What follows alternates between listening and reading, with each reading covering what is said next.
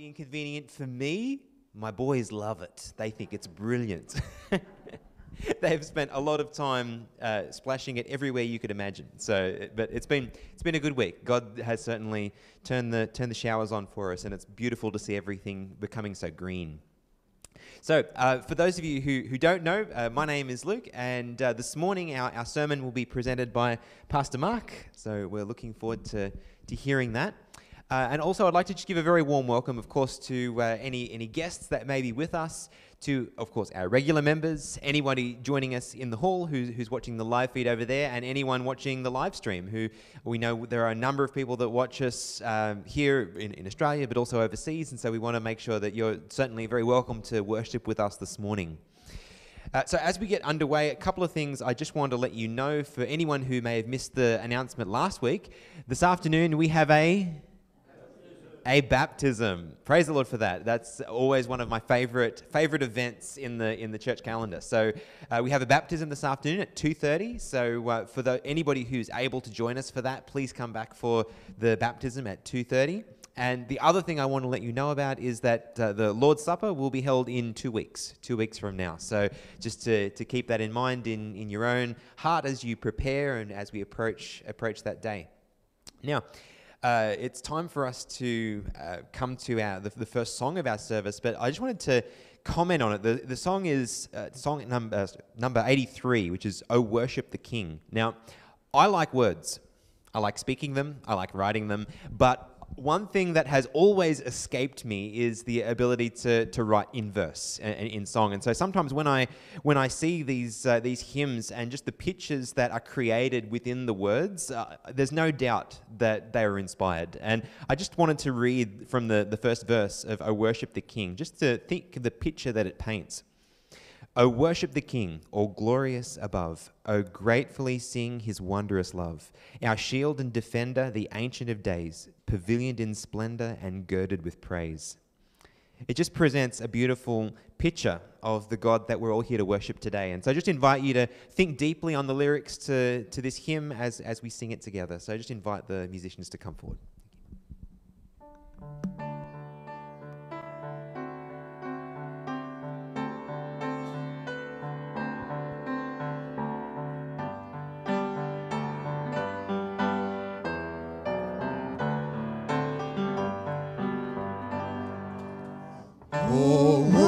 shame.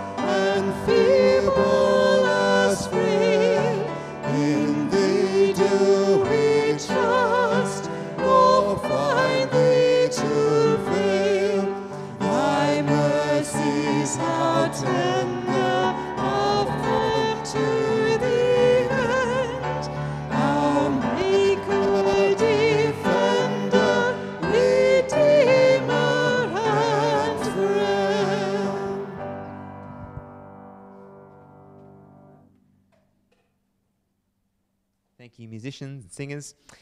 Uh, just, uh, just a mention for anybody that is joining us via the live stream. If you have appreciated the, the ministry and the, and the music that we've been having, and I'm sure you will enjoy the, the sermon to come as we study the word, I just invite you also to, to share this with your friends as well so they can join in the blessing and also worship along with us.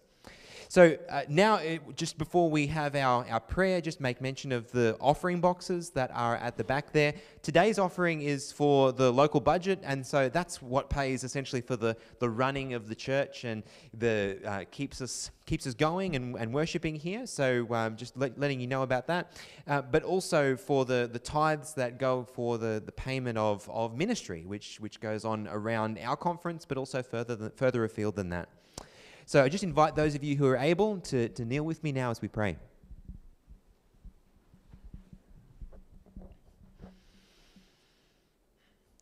Father, we, we come before you grateful, grateful for another day of life that you have allowed us to come together to worship you in peace and safety, and that we were able to learn about you. Father, I know there are many people that don't have the privileges that we have today, and so whilst we are, are grateful for that, we also remember those that don't have the privilege of the freedoms that we do. And I, I know there's still places that are unable to meet in their churches, even with the, the lockdowns in various locations. And so I just pray that everybody that is uh, have, has their heart turned toward you this morning, that you would lift them up, that your Holy Spirit would teach them just as you teach us today. Lord, I also pray for the other churches in our region. Lord, I pray that you would support them in their ministry and, and bring, bring life to the people that are there. We think of those that aren't here today, whether it's for sickness or, or travel or whatever the causes, Lord. I ask that you would be with our, our members that are not able to be here.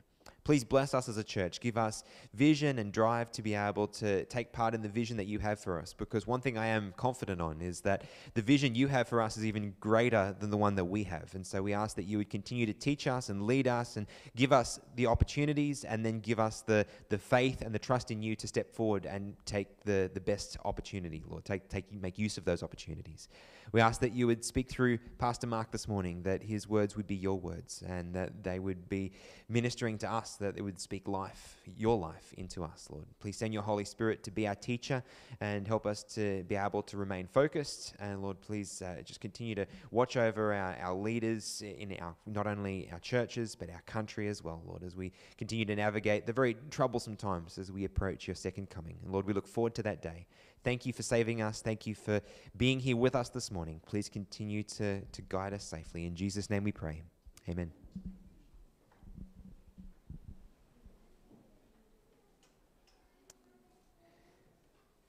So it's now time for the children's story. And so I'm going to pass that over to Pastor.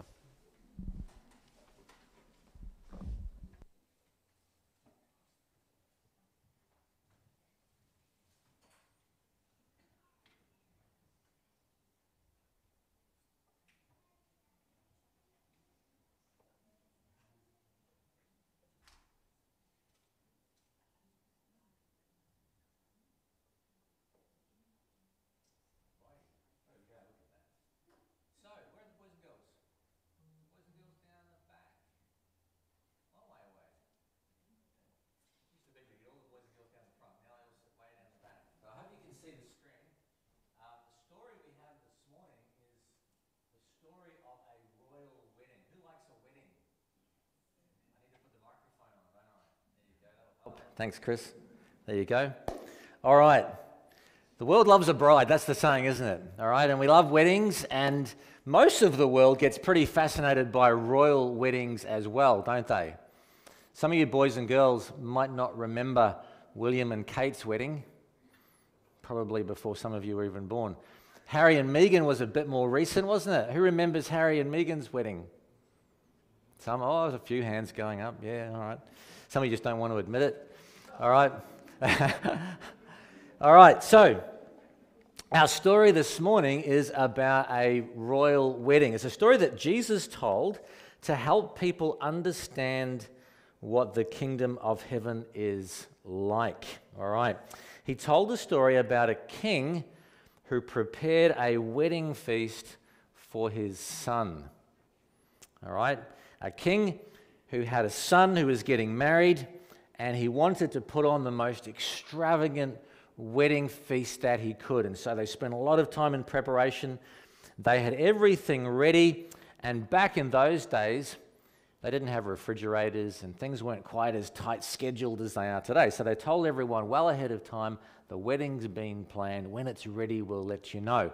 So the wedding was ready, and he sent out his servants to tell the invited guests that the wedding feast was ready. Now, back in those days, wedding feasts took a long time. It wasn't just sitting down for the afternoon and having a meal together, it would take sometimes up to a week. Lots of food, lots of feasting, lots of fellowship, all right? So the, the food was all prepared, everything was ready for this week of feasting and celebrating. And the king sent out his servants, and what do you think happened? They didn't want to come. Why would you not want to come? If you got an invitation to a royal wedding, would you go? I think I would go, just, just to experience what it was like. All these invited guests that the king had invited to the special wedding feast for his son refused to come. So the king thought to himself, maybe, maybe they misunderstood. He sent out more servants and he said to them, Tell those people who've been invited that everything is ready. I've prepared the feast, the animals are all slaughtered, ready to eat. Come to the wedding banquet. That was, that was the invitation. Go, make sure they understand, and make sure they come. You would think this time they would come, wouldn't you? I know you boys and girls would. You'd, you'd be there because, because you're good boys and girls. These ones, though, well, they just paid no attention. Some of them went off to the farm, did their work on the farm with the animals. Another one went off to his business. He was busy trying to make money and get his business established. And some, they actually took the servants who'd come to invite them and they beat them and they killed them. That's pretty sad, isn't it? They weren't very nice to do that when the king had gone to all the trouble of preparing such a special, special banquet. So, you can imagine when the king heard what had happened, was he happy? He wasn't very happy. No, in fact, he sent his armies and destroyed those murderers and he burned their city to the ground. That's how angry he was, that he'd gone to all the trouble to provide a feast for them and they didn't want to come. So now he had a dilemma, didn't he? He had a feast that was all prepared, lots of food, lots of empty tables and empty chairs, and no one to come and enjoy the celebration with him and his son. So he said to his servants, Look, the wedding feast is ready. The ones who were invited didn't want to come, so I want you to go out into the streets, find everyone that you can, and invite them to the wedding. So the servants went out into the streets and they gathered all the people they could find. There were good people, there were bad people, upright people, immoral people, and they invited them all to the wedding banquet. And it was filled with guests. Now, when the king came in, he looked around and he saw that everybody had dressed up for the wedding except for one person. One person had come and he wasn't wearing appropriate wedding clothes. What would you wear if you were going to a wedding? You'd get dressed up, wouldn't you? Some, some ladies, particularly, take a lot of time to choose what they're going to wear to a wedding. For men, it's a bit simpler, isn't it? We, we just put on our tie and jacket and we're ready to go. Well, this man had not taken any care at all. He just decided to rock up as he was and the king came in and saw him down here just wearing his old clothes. And he said, How did you get in here without wedding clothes on? And the man was speechless. Why do you think he was speechless? He was speechless because he actually could have put wedding clothes on if he wanted to. What we understand is that in those days, the king would provide wedding clothes for the guests, and all they had to do was put them on and wear them to the wedding. But this man, for some reason, decided he didn't want to do that. He thought coming in his own clothes was okay, and the king wasn't very happy. Why do you think you wouldn't wear nice wedding clothes to a wedding? Well, normally we get dressed up for people that we want to show respect to, don't we? If you were going to meet someone important, say the Prime Minister was coming to town, you'd get dressed up. Coming to church, we get dressed up because we're meeting with God and we want to show respect to God, so we wear nice clothes. So this man obviously didn't have a lot of respect for the king and uh, didn't appreciate the significance of the occasion, perhaps. But uh, he hadn't made any effort to get ready for the wedding banquet. And so the king told the attendants, tie him up, take him outside, and throw him out into the darkness. Obviously, it was nighttime by then, and so the, the man was taken outside and expelled from the wedding feast. And Jesus finished his story by saying, Many are invited, but few are chosen. Many are invited, but few are chosen. And there's lots of lessons in the story. The main one is that everybody can come to the wedding feast. Jesus wanted those people who were first invited, they, were, they represent the nation of Israel to come to the wedding, but they didn't want to come. And then he opened the invitation to all of us who aren't Jews to come to the wedding feast, to come into the kingdom, to be his people. Everyone can come and be one of God's people. That's the first message. The second one is once we get the invitation, once we're accepted uh, to be partakers of the special wedding feast, there's a little bit of preparation we need to make. All right? We want, and we'll talk about that in the sermon. So, boys, I want you to listen carefully to the sermon. We're going to explain in the sermon what that wedding garment represents and how we can put it on. Okay? So, I want you to listen really, really carefully when we get to that. Okay? Um, but for now, just remember that everybody is invited. You can come if you want to. You can be part of God's kingdom because God has invited you. All right? We have to say yes to the invitation. We'll talk about the wedding garment a bit later. Let's just have a little prayer as we close our story time together. Father in heaven, thank you for your great love for us. Thank you for the story, um, story of a wedding feast. And we know that um, one day we'll get to sit down at a table with you and, and share a special feast together. And, and we thank you that all of us are invited. Everybody can come, and it's up to us to choose whether or not we will respond. I pray for all the boys and girls here and the big people as well, that we would choose yes to say yes to the invitation and be part of that wedding feast when, it, when that day arrives. We ask it, please, in Jesus' name. Amen. Amen. All right. Let's. Um, Let's go straight into our next hymn, I think. We'll go to 522. Um, 522. My hope is built on nothing less than Jesus' blood and righteousness. Let's, um, let's stand and sing this together.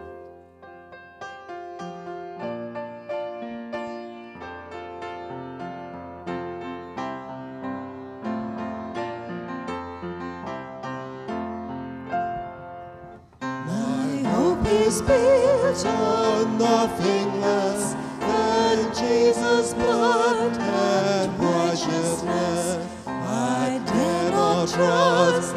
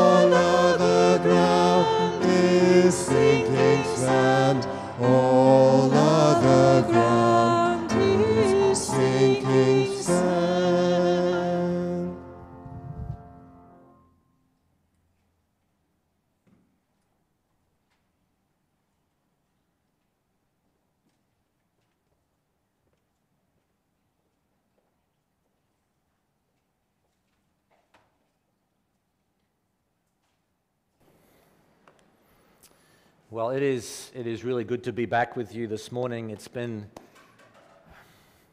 must be four weeks since I was here last because I've missed three. Um, regional day was my, uh, my rostered Hinkler day.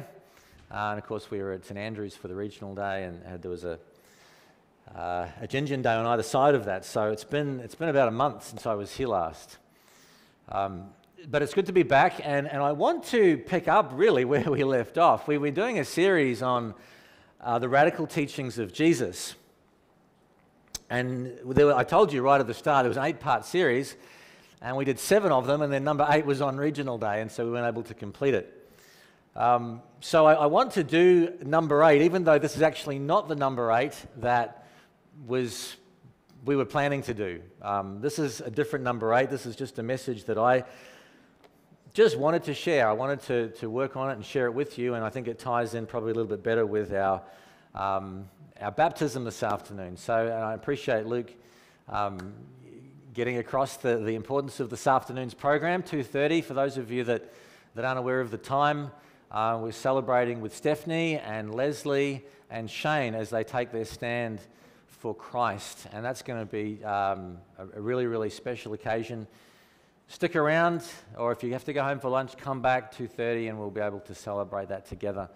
Um, so today is a high day and we want to look this morning at, uh, at the gospel and an aspect of the gospel um, which we are referring to as election. Election. Now some of you are already thinking what does voting have to do with the gospel? All right um, and the election's still a little bit far away, so why are we even worrying about the election right now, okay? Um, not, not that election, not electing a prime minister or a state premier.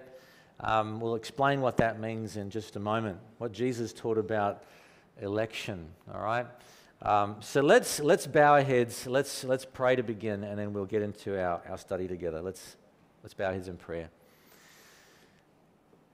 Father in heaven, Almighty God, we we just bow humbly in your presence. We thank you for drawing us together this morning and thank you again for an opportunity to be in your word. Father, we just pause and ask that you would be here again through your spirit. May you be our teacher this morning. May you help us to understand this, this doctrine on which many in the Christian world are confused about. We pray that you would uh, speak to us, give us the clarity, the understanding that we need and help us to see also its application for our own lives. Help us to live in the light of the truth from your word. We ask it, please, in Jesus' name. Amen. Amen. All right, I'm going to put some, some um, people up on the screen. Some of you won't have a clue who they are. Um, I'm curious to actually how many of you do recognize them, all right? So let's put the first one up. Does anybody recognize this gentleman? Yep, one. Someone else? Not many others. His name is John Piper. He's a pastor from the United States. Uh, if I was smart, I could tell you which church he pastors, but it slips my mind. Anyway, he has a ministry called Desiring God. Um, you can get on, he's got a website, YouTube channel. Um, he is very, well, I'll, I'll, tell you something about all of them in a minute, but John, John Piper, Desiring God. Um, very, very uh, inspiring, very solid biblical preacher. Does anyone know who this gentleman is? Yeah, one more down the front. Anyone else know who this is? A few others? Paul Washer. All right, this is a gentleman called Paul Washer. Uh, Paul Washer uh, leads a ministry called Heart Cry um, Missionary, Heart Cry Missionary Society, or something like that. um, was a, a, a, missionary in South America for many years, now I think based in the United States. Um, again, you can see his sermons on, on YouTube, um, all over the internet, um, and a very powerful, very popular preacher, especially amongst young people in conservative circles today. Um, one more. Anybody recognize this gentleman? Yep. Other one? A few others? Yeah, John MacArthur. All right, very good. John MacArthur. Um, John MacArthur, probably one of the most prominent expository preachers of this generation. Um, again, has a church in the United States called Grace Community Church in California, has a ministry called Grace to You, has written countless books and very, very influential among conservative Christian circles. What do all three of these men have in common? They're not Seventh Adventists, that's one thing, all right? In regard to their theology, what do they all have in common? They're all Calvinists, all right? They're all, they're all Calvinists. They are. They, they are all very solidly biblical in their presentations. They're all conservative in the way that they address issues like music and worship, um, like, like men's and women's roles within the family and in the church. In many regards, they put us to shame in some of those areas. Um, very, very high view of God, very high view of Scripture, and a very high view of the gospel. And for that reason, very, very attractive, very appealing to a lot of, a lot of, um, a lot of Christians today, a lot of young Christians today. And, and these three and others are, are, responsible for what we would call a resurgence of Calvinism, um, the, the new Calvinists, their title. And there are other people on, on YouTube who have podcasts and things like that that, um, that are promoting Calvinism. So, what are we talking about? We're talking about Calvinism. All three of these, and there are others of their ilk, um, they all teach, believe um, what essentially John Calvin taught many years ago. John Calvin, we have the dates there 1509 to 1564, one of the reformers. Um, John Calvin um, did, did many good things. He was a great, great preacher, expository preacher, um, but was responsible for the development of, of what is, well, today it's just called Calvinism, all right? I want to give you a quick overview of, of the five points of Calvinism, all right? This will just set us up for our Bible study in a moment, all right? Some of you will be familiar with this. Now, Calvinists, Calvin, Calvinists um, believe these five things. They believe more than just these five things, all right? They believe a lot of things. They believe the Bible, and they have a slightly different view on a few things than what we do. But, but at the heart of Calvinism are these five things. Number one is, is a belief about human nature. They call it total depravity. Now, I have put up there in brackets inability because I think total inability is a better way of describing what they actually believe. If they were telling you what they believe, they would say that human nature is absolutely corrupt. There is nothing good in us by nature, right? We would tend to agree with that, at least to some extent. But in practice, what they actually mean is that because of our fallenness, because of our corruptness, we are unable to seek God. We are unable to choose God. We're unable to even respond to God. We are dead in sins and trespasses. They take that very literally. All right? So, at the foundation of Calvinism is a total inability on the part of humanity to, to reach out to God, to respond to God, to choose God. Because of that, God has to choose us. We cannot choose God, therefore, God must choose us. Therefore, those that are saved must have been chosen by God. And that's called election. Before the beginning of time, before the beginning of this world, certainly God chose who would be saved and who would be lost. That's at the, that's at the heart of Calvinism. It's an emphasis on God's sovereignty. God is in control, God is in charge, therefore, everything is determined by Him. There's a certain logic to it, but we'll unpack it a little bit more later on. So, so because of humanity's inability, God chooses. God chooses you or He doesn't choose you. Not everyone is chosen to be saved. Therefore, Christ did not have to die for everybody. Christ only had to die for the elect. And that is called limited atonement. Christ's sacrifice paid for the sins of those whom God chose. Those who are not chosen for salvation, Christ did not die for them. All right? You can see the logic. As I said, I'm not saying it's right, but I'm just saying that that's the logic. We'll, we'll, we'll, we'll challenge it in a moment. The next one is irresistible grace. God has chosen certain people for salvation. Christ has paid the price for their sins, He's atoned for their iniquities. And at some point in their lives, God bestows His grace upon them, and that grace then awakens them uh, and, and draws them to Christ for salvation. All right? And that grace is irresistible. If you're one of the chosen, if you are elect, then you will be saved. That grace will draw you, and you will come to the point where you accept that salvation for yourself. And the fourth one is the perseverance of the saints. Once you are saved, you cannot be lost. All right, once saved, always saved is how we often refer to it as. Perseverance of the saints. Those who are chosen, those who are elect, need not fear uh, falling away, their, their salvation is secure. All right, now you can see there, if you take the first letters of each of those points, it spells tulip. All right, a five point Calvinist is defined by these, these things. They call it um, TULIP, T U L I P total depravity, unconditional election, limited atonement, irresistible grace, and the perseverance of the saints. Now, now, you and I might look at that and say, how on earth could someone who reads their Bible come to some of those conclusions? God so loved the world, he gave his only begotten Son, that whoever believes in him should not perish but have everlasting life. You can probably think of plenty of other verses that, that imply, if not are explicitly teaching, that salvation is available to all, and it rests with us to accept it. Calvinism is gaining in popularity. There is a resurgence of Calvinism in Christian circles. Those presenters that I put up there on the screen um, are very popular.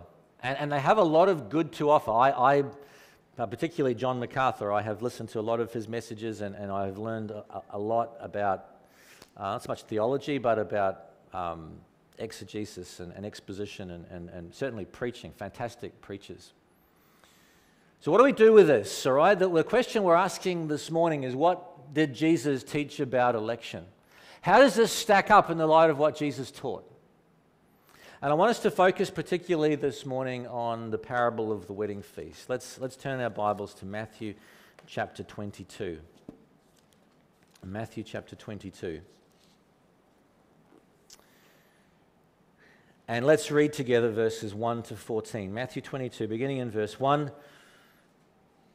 Jesus answered and spoke to them again by parables and said, The kingdom of heaven is like a certain king who arranged a marriage for his son and sent out his servants to call those who were invited to the wedding, and they were not willing to come. Again, he sent out other servants, saying, Tell those who are invited, See, I have prepared my dinner, my oxen and fatted cattle are killed, and all things are ready. Come to the wedding. But they made light of it and went their ways, one to his own farm, another to his business. The rest seized his servants, treated them spitefully, and killed them. When the king heard about it, he was furious, and he sent out his armies, destroyed those murderers, and burned up their city. And he said to his servants, The wedding is ready, but those who were invited were not worthy. Therefore, go into the highways, and as many as you find, invite to the wedding. So those servants went out into the highways and gathered together all whom they found, both good and bad, and the wedding hall was filled with guests. When the king came in to see the guests, he saw a man there who did not have on a wedding garment. So he said to him, Friend, how did you come in here without a wedding garment? And he was speechless. And the king said to the servants, Bind him hand and foot, take him away, and cast him into outer darkness. There'll be weeping and gnashing of teeth. For many are called, but few are chosen. Many are called, but few are elect. That's the same word that's translated elect in other parts of the Bible, certainly in Matthew 24, where Jesus talks a number of times about the elect. All right, Matthew 24, verse 24. False Christs, false prophets will rise and show great signs and wonders to deceive, if possible, even the elect, the chosen ones. That's all elect means. Elect means those who are chosen. When we talk about an election, all right, a government election, it's about people choosing who will represent them. The, the ones who are elected to office are those who are chosen to fill certain positions in the government. So the elect are the chosen. When Jesus says many are called but few are chosen, he is speaking about who are elect. So, when we're asking the question, what did Jesus teach about election? This is a pretty good place to find out. All right, so we're going to work through the parable, we'll look at it fairly quickly, and we'll focus on this last scene, which helps us understand this idea of election. All right, so the first part of the story, we'll call it the invitation rejected. The kingdom of heaven is like a certain king who arranged a marriage for his son. Jesus is trying to help us understand the kingdom of heaven. A little bit of context. This, this parable, Jesus is, is speaking in the, the middle of the final week of his life. This is a Wednesday. At the start of the week, he's come into Jerusalem riding on a donkey. They've waved palm branches, they've shouted, Hosanna.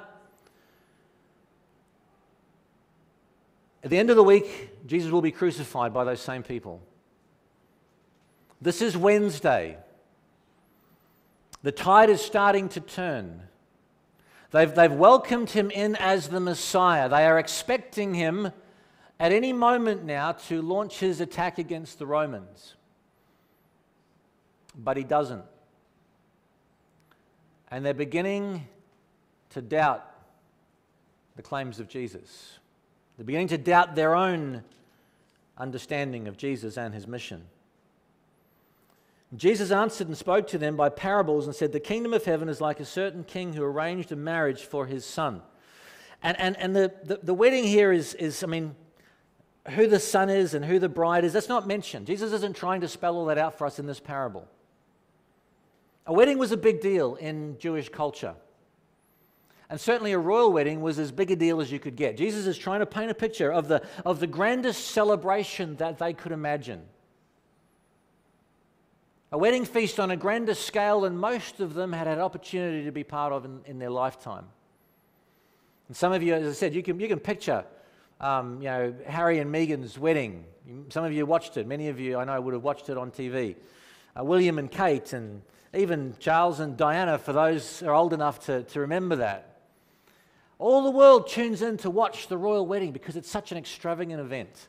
And there's something about the pomp and the ceremony and all of that that captures our interest, captures our attention. And Jesus is, is using that picture to try and, and help us understand something about the kingdom of heaven. In verse 3, it says, He sent out His servants and called to call those who were invited to the wedding. So He's He's calling essentially the already called. These are people who had received an invitation probably some months prior. They knew that the wedding was being planned. They had been invited and they were told that when everything was ready, they, they would receive a call to the wedding. Presumably, they had sent back an RSV paying, RSVP saying, Yes, we'll come. They'd agreed to come. And, and, and why not? You would too, all right? Not every day you get invited to a royal wedding. And we're not told why, but for some reason, when that invitation goes out to the already called people, they refused to come. It says at the end of verse 3 they were not willing to come to the wedding feast.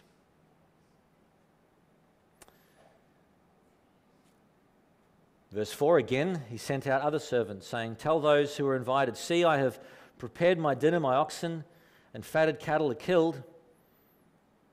All things are ready. Come to the wedding. The king sends out a second invitation, if you like. A second time, he sends out servants telling these people that everything is ready. Please come. verse 5 they made light of it and went their ways, one to his own farm, another to his business. And the rest seized his servants, treated them spitefully, and killed them. This is, of course, a picture of God's invitation to Israel. Those who were invited into the kingdom were the Jews. They were the chosen ones, they were the already invited ones. And when Jesus comes as the Messiah, who do the disciples first go to? They go to first to the Jews. Jesus says, Don't go to the other, the other cities, the other places around. Go first to the, the house of Israel, the lost sheep of the house of Israel. They're the ones that we want to invite into the kingdom. And in verses 5 and 6, it says there are, there are two types of responses. There are those who are indifferent those who went away to their farm and to their business, and there were those who were hostile.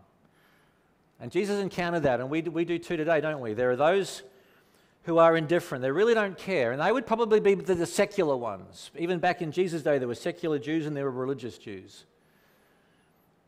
The secular people are not interested. They're just busy with their stuff, busy with their farms, their enterprises, their businesses, busy with the affairs of life. And they don't have time for God, they don't have time for religion. And then there are the religious people. And in Jesus' day, it was the religious leaders who led the hostilities.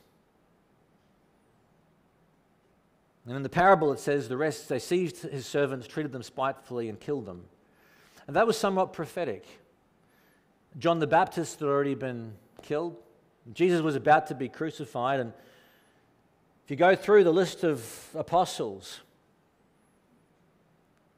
list of martyrs, all of them, except for John, were martyred for their ministry, for sharing the gospel. So, the first part of this parable, the invitation rejected, it's a picture of Israel's rejection of the Messiah, Israel's rejection of the gospel that the apostles brought to them at, at the time of Jesus. Verse 7, it says, When the king heard about it, he was furious. And he sent out his armies, destroyed those murderers, and burned up their city. The rejectors punished. Now, for, for those who were listening, you, you can imagine the struggle in their minds. First of all, you know, first of all, it's probably, probably certain that they understood that Jesus was talking about them. All right? But it says that back in chapter 20, 21 that they understood that Jesus was talking about them. Um, but, but if they stuck with the story, if they just stuck with the story of a royal banquet that the king had prepared, and it, it was just inconceivable that people would choose not to come certainly inconceivable that they would take the servants and treat them spitefully and kill them. And so, when, when they hear the next part of the story, that this king was furious, he sent out his armies, destroyed those murderers, and burned up the city, they were probably thinking to themselves, well, that's fair enough. That would make sense. Even in our culture, murder is, well, they're not executed, but certainly locked up for a long time, aren't they? But Jesus is speaking about them, isn't he? Speaking about the fate that awaits them. He's speaking about the fate that awaits them. And of course, this was fulfilled not too many years later. Jesus says there that he sends out his armies, destroyed those murderers, and burned up their city. 70 AD, Titus Vespasian, the Roman general, came to Jerusalem and conquered the city, murdered 1 million 100,000 Jews, threw their bodies over the wall, and slaughtered beyond that multiple thousands outside, all around Palestine. Josephus, who was an eyewitness to the whole thing, wrote in his History of Jewish War these words, they're translated, of course. That building, the temple at Jerusalem, however, God long ago had sentenced to the flames, but now in the revolution of the time periods, the fateful day had arrived, the 10th of the month of Lous, the very day on which previously it had been burned by the king of Babylon. One of the soldiers, neither awaiting orders nor filled with horror of so dread an undertaking, but moved by some supernatural impulse, snatched a brand from the blazing timber and, hoisted up by one of his fellow soldiers, flung the fiery missile through a golden window. When the flame arose, a scream as poignant as the tragedy went up from the Jews now that the object which before them, sorry, before they had guarded so closely was going to ruin. While the sanctuary was burning, neither pity for age nor respect for rank was shown. On the contrary, children and old people, laity and priests alike were massacred. The emperor had ordered the entire city and sanctuary to be razed to the ground, except only the highest towers and that part of the wall that enclosed the city on the west. And that's, of course, the Western Wall. It still stands today.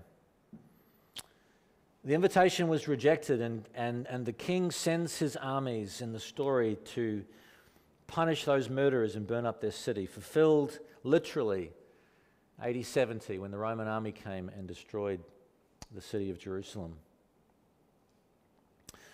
Verse 8, the story continues. There are new guests invited, and he says to his servants, The wedding is ready. Those who are invited were not worthy. Therefore, go into the highways, and as many as you find, invite to the wedding. You can imagine the scenario. You've prepared a massive banquet, there's food prepared, and of course, there's no refrigeration.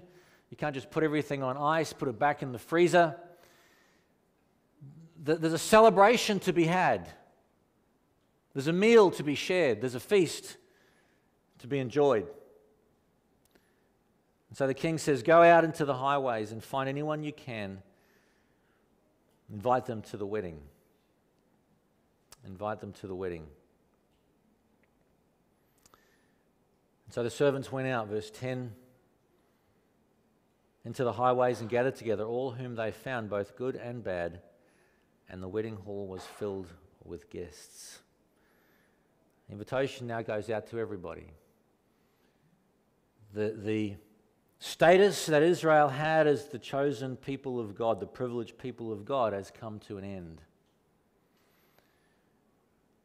And the gospel now goes to the Gentiles, goes beyond the borders of Israel, and is and it's extended to everybody. Everybody who will come is invited to the wedding feast.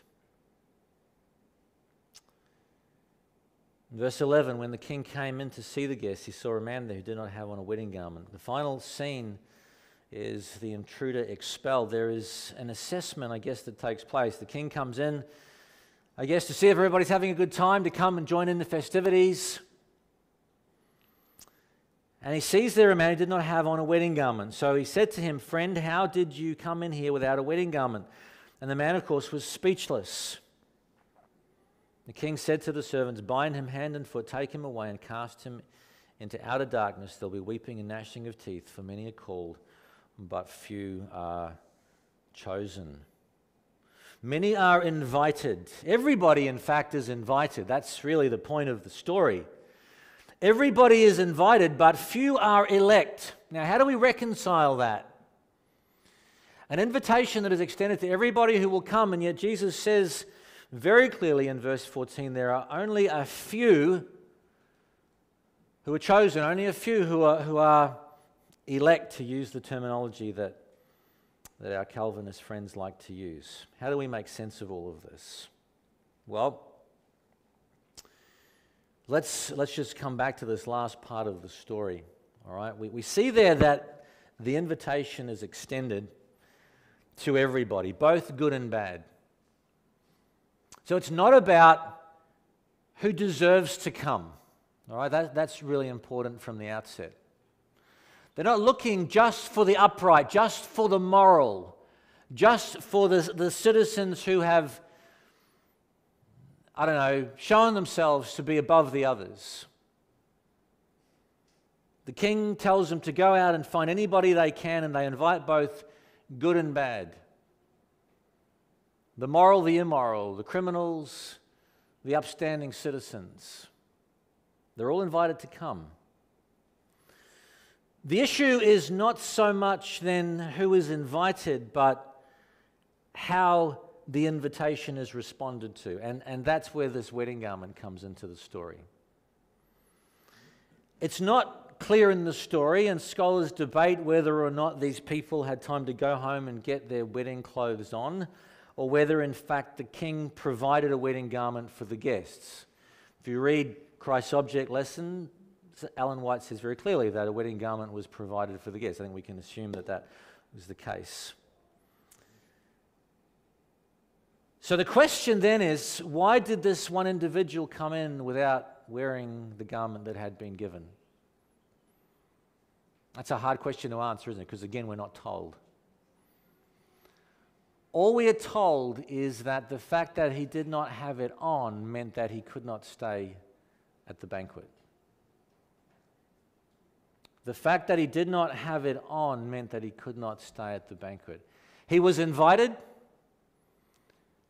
and he had responded to the invitation by turning up to the wedding feast, but he had not made the appropriate preparation He had not made the appropriate preparation. Now, we want to try and unpack some of this. What does a wedding garment represent?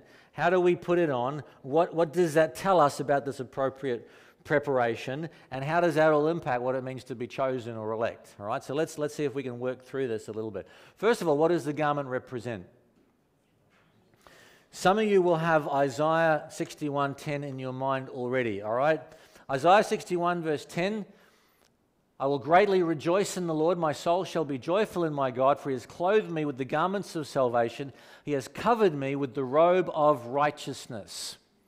And, and we would conclude, I think, quite naturally, that the garment somehow represents righteousness. A garment provided by the king, symbolizing the righteousness that God has provided for his people. Make sense? All right. We see something similar in the book of Job. Job 29 and verse 14. Job says, I put on righteousness and it clothed me. Now, there is a little difference, though, between what we saw in Isaiah and what we see in Job. Isaiah says, He has clothed me with the garments of salvation. He has covered me in a robe of righteousness. Job says, I put on righteousness and it clothed me. Now, you might say, well, that's just splitting hairs, but I think you'll see that there's something that something significant about putting on the garment, all right? Um, what, what do we understand about righteousness in Matthew's gospel? This is really, really important. Um, we can go back to, to the Sermon on the Mount, and we, we spent some time in this passage some years ago. Um, and I can remember preaching on, on this particular verse, Matthew 5 and verse 20. Jesus starts off the Sermon on the Mount by saying to his hearers, I say to you that unless your righteousness exceeds the righteousness of the scribes and Pharisees, you will by no means enter the kingdom of heaven. All right? Jesus is saying that if you are going to enter the kingdom, remember this parable, Matthew 22, Jesus is talking about the kingdom, trying to explain to them the kingdom. So there is a connection here. Unless your righteousness exceeds the righteousness of the scribes and Pharisees, you will by no means enter the kingdom of heaven. Now, for the, for the listeners, the hearers in, in Matthew 5, that would have been absolutely demoralizing. Because for most people, the scribes and the Pharisees were as righteous as a person could get. They were the benchmark, they were the standard. But Jesus rejected their righteousness because, as far as he was concerned, it was simply external. It was simply about ticking certain boxes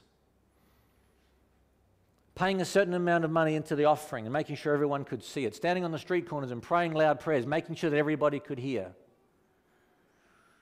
And Jesus says, Look, it has to go deeper than that. Just because you're not killing people doesn't mean you're fulfilling the righteousness of the law. If you're angry with your brother, you have sinned and are accountable to God. And, and he went on, and you, you, you're familiar with that, I think. So Jesus is, is talking here about a practical righteousness.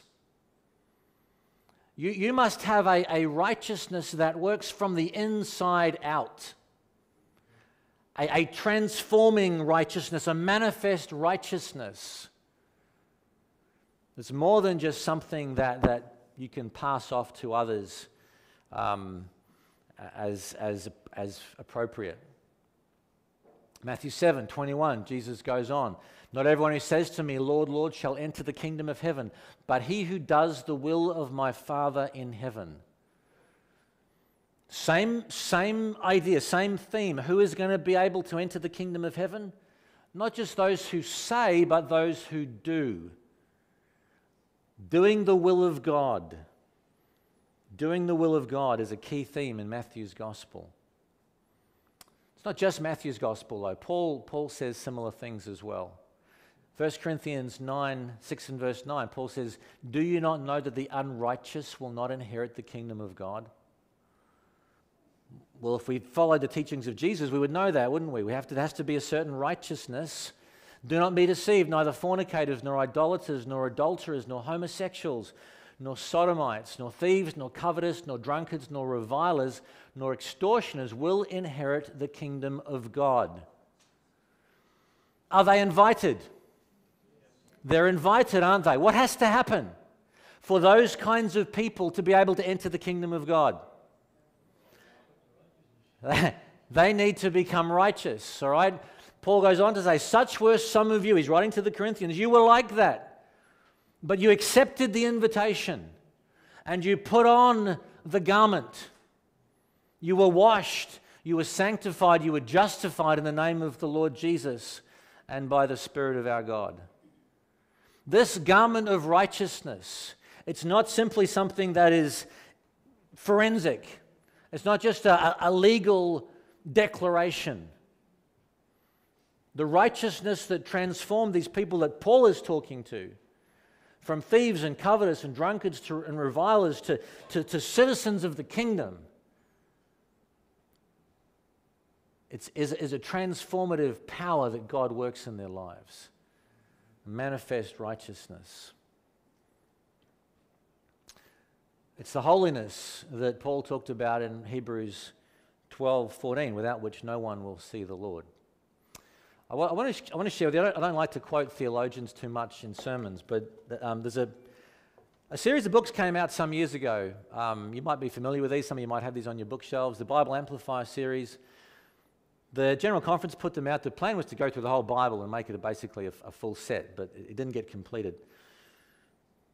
Um, George Knight wrote the one on, on Matthew's Gospel, and I just want to quote a couple of paragraphs from it because I think he, he's speaking about this parable of the wedding garment, and he, and he captures the essence, I think, pretty well. He says, A great deal of discussion has taken place as to the exact nature of the wedding garment. It seems to me, this is George Knight in his commentary speaking, seems to me that F.D. Bruner is correct when he writes that, quote, the wedding garment in the context of Matthew's gospel is not passive, imputed Pauline righteousness. This is not just a legal declaration. It's not just a right standing with God that is given to the people, all right? In contrast, it is active, moral, Matthean, as in the type of righteousness that Matthew keeps writing about, righteousness. Matthew 5:20 he cites, which is one we've looked at already. Unless your righteousness exceeds the righteousness of the scribes and Pharisees, you can't enter the kingdom of heaven. It is doing God's will. 721. Not everyone who says to me, Lord, Lord, will enter the kingdom of heaven, but he who does the will of my Father in heaven. It is evidence of repentance by law abiding discipleship. That is the kind of righteousness that Matthew is talking about, that Jesus is talking about here in this story. That interpretation is in line with Revelation 19:8, which tells us that the fine linen of the redeemed is the righteous deeds of the saints. The righteous deeds of the saints. But Bruner is careful to caution us that the wedding garment must not be confused with a dreary legalism. It should be noted, he writes, that the wedding garment of personal righteousness was not necessary in order to be invited to the party.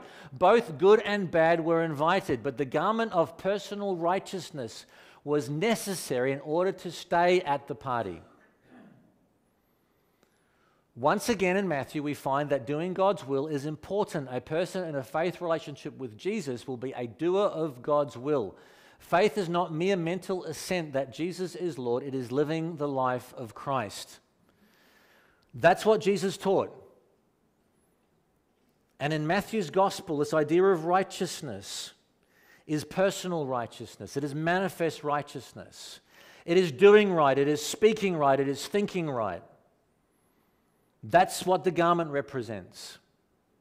That's what the garment represents if, if it is living the life of Christ, how do we put it on? All right? How do we put on the garment? I want to I wanna share with you a couple of, I know we don't want to confuse Paul's theology with Matthew's theology, but I think there's some instructive things we can look at here, right? Romans 13, verse 12. What does Paul say? You're probably familiar with this. The night is fast spent, the day is at hand. Let us therefore cast off the works of darkness. Let us put on the armor of light. Let us walk properly, as in the day, not in revelry and drunkenness, not in lewdness and lust, not in strife and evil. What's, what's Paul calling for? He's calling for personal righteousness, holiness, a holy, righteous walk with God. That's, that's the idea. Notice what he says next. But put on the Lord Jesus Christ and make no provision for the flesh to fulfill its lusts. Put on the Lord Jesus Christ. What is the garment? It's The righteousness of Christ. It is putting on Christ. It's putting on Christ. That's what Paul's talking about. How, how do we do that? If we want to live the life of Christ, we want to put on Christ, put on this garment of righteousness. Where does it start? Galatians 3:27 As many of you as were baptized into Christ have what? Have put on Christ. That's where it starts. It starts with making a commitment, making a decision to accept Jesus as Lord, to embrace the gift of salvation, to receive all that He's offering. That's putting on the garment, putting on Christ. It starts with being baptized. Does it end there? Does it end there? Let's go to Colossians. Colossians 3. Now, now that you've been baptized, now that you've come to Christ, you, you, you, you're right with God. You've been reconciled to Him. You have a right standing with God. Now you yourselves are to put off all of these anger, wrath, malice, blasphemy, filthy communication out of your mouth. You put off the unrighteous deeds, the unrighteous practices, the unrighteous habits of your past life. Do not lie to one another, since you have put off the old man with his deeds and have put on the new man who is renewed in knowledge according to the image of him who created him. You are putting on Christ, all right? You are being transformed into the image of Christ by putting on the new man. It's, it's a word picture, and it pictures someone putting on a garment. But it's active. Therefore, and this is interesting for us, isn't it? Therefore, as the what? The elect, the chosen of God, holy and beloved, put on tender mercies, kindness, humility, meekness, long suffering, bearing with one another, and forgiving one another. If anyone has a complaint against another, even as Christ forgave you, so you also must do. But above all these things, put on love, which is the bond of perfection. As many of you have been baptized into Christ, have put on Christ. It starts there. Putting on the garment starts with committing our lives to Christ, taking that step of baptism, being united with Him and receiving His, his righteousness through justification. But then there is the righteousness that is imparted to us through sanctification. We have a responsibility to, to put on the positive traits of character, put on all those things we just listed there tender mercies, kindness, humility, meekness, long suffering, choosing to cultivate the mind of Christ. Ultimately characterized by love. Love for our brothers and sisters in the church, love even for our enemies outside in the community. Put on love, which is the bond of perfection. Who then are the elect? Who then are the elect? Remember the text? Many are called, but few are chosen. The invitation goes out to everybody. Come to the banquet, come to the feast. Everything is prepared. Many are called, everyone is called, but few are chosen, few are elect. Me share with you a statement from Patriarchs and Prophets. The gifts of His grace through Christ are free to all. Page 207, 208. There is no election but one's own by which any may perish. God has set forth in His word the conditions upon which every soul will be elected to eternal life, obedience to His commandments through faith in Christ. God has elected a character in harmony with His law, and anyone who shall reach the standard of his requirement will have an entrance into the kingdom of glory. Christ himself said, He that believeth on the Son hath everlasting life. He that believeth not the Son shall not see life. Emphasis, of course, being on anyone. It is open to all who will believe, who, all who will meet the conditions. She quotes Matthew 7:21, which we've seen already. Not everyone that saith unto me, Lord, Lord, shall enter the kingdom of heaven, but he that doeth the will of my Father which is in heaven. And in Revelation, he declares, Blessed are they that do his commandments, that, they may have right to the tree of life and may enter in through the gates into the city. As regards man's final salvation, this is the only election brought to view in the Word of God. Every soul is elected who will work out his own salvation with fear and trembling. He is elected who will put on the armor, of, on the armor and fight the good fight of faith. He is elected who will watch under prayer, who will search the scriptures and flee from temptation. He is elected who will have faith continually, who will be obedient to every word that proceedeth out of the mouth of God. The provisions of redemption are free to who? Free to all.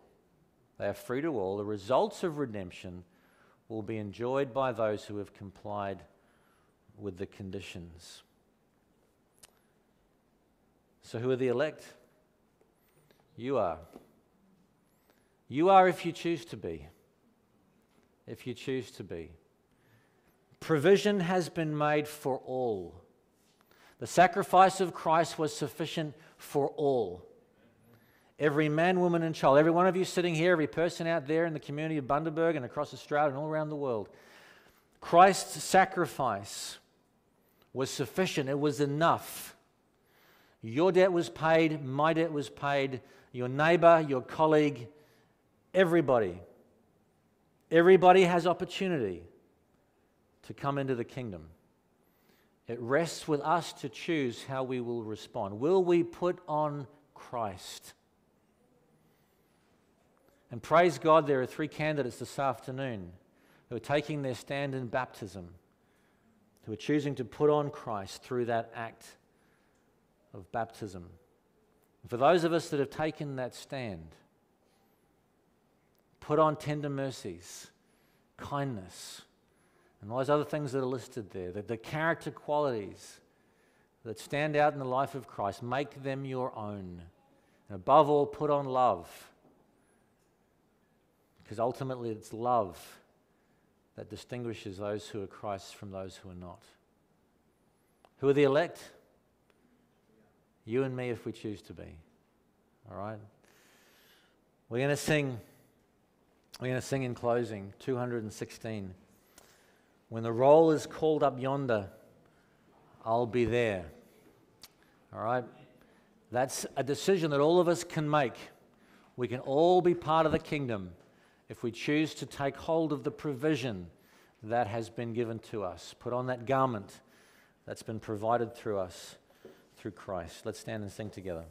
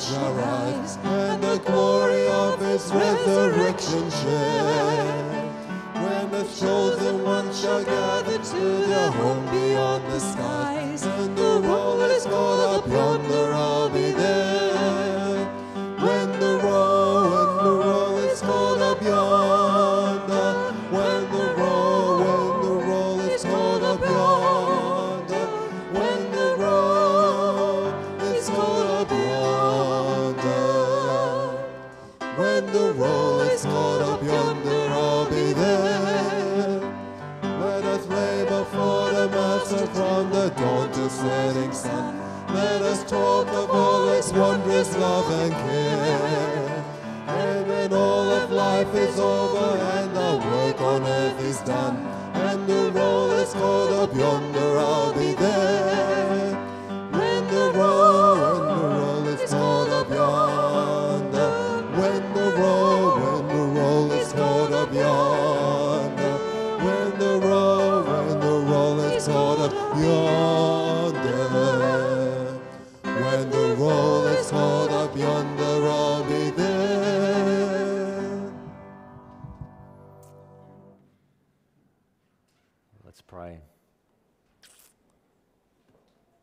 Father in heaven, we long for that day when your chosen ones will be gathered to their home beyond the skies.